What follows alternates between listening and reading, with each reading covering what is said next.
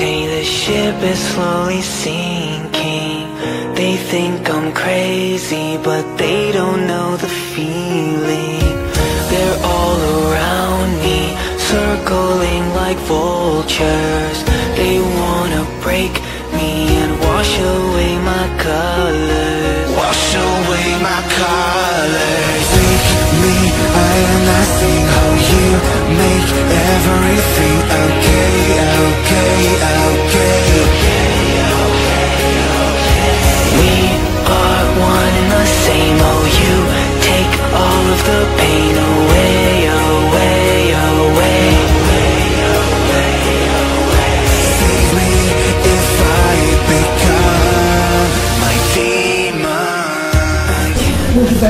Penyebab dan musababnya kan Eh, Oke, selamat siang ya. Jadi Om Sony tadi itu muter-muter ke exit tol Weleri ya, lihat kondisi armada Pajero-nya yang tidak sengaja tersudul sama satu unit bus eh, PO Haryanto ya.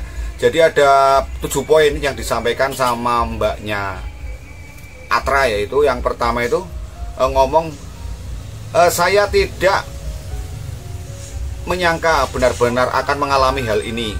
Mungkin kalau jawabannya Om Sony memang semua orang itu tidak akan menyangka akan terjadi hal yang tidak diinginkan ya Mbak ya.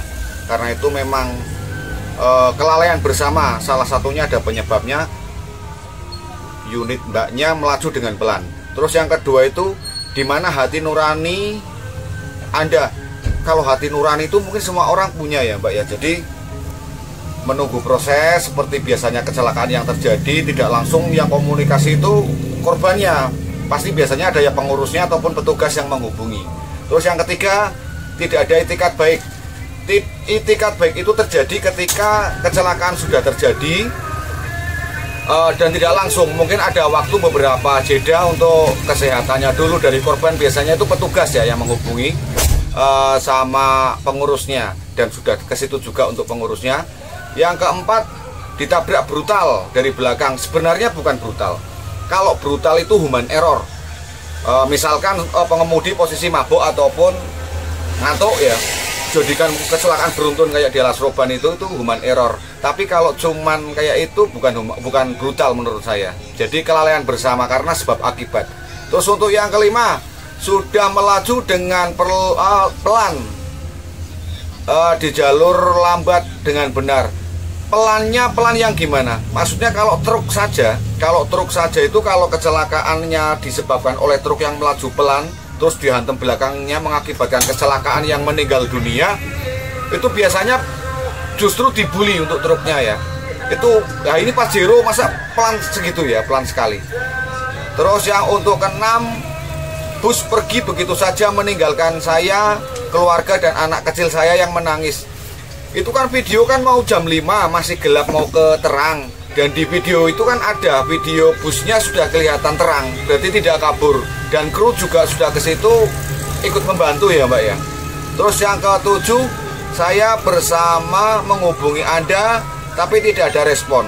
Sebenarnya jangan anda yang menghubungi mbak. Ada korban harusnya berbenah diri dulu biar sembuh cepat sembuh dulu. Nanti ada perwakilan keluarga ataupun saudara ataupun pengurus yang lainnya mempertemukan kedua pihak ya. Karena memang kalau kecelakaan itu akan selesai bila kedua belah pihak itu ketemu bikin surat perjanjian dan armada diambil baru diselesaikan di situ. Jadi tidak semena-mena langsung korban menghubungi pelaku ataupun yang tidak sengaja menabrak tidak bisa. Eh, dan ini berikut untuk kondisi kondisi ya untuk mobil Pajero nya di exit tol Weleri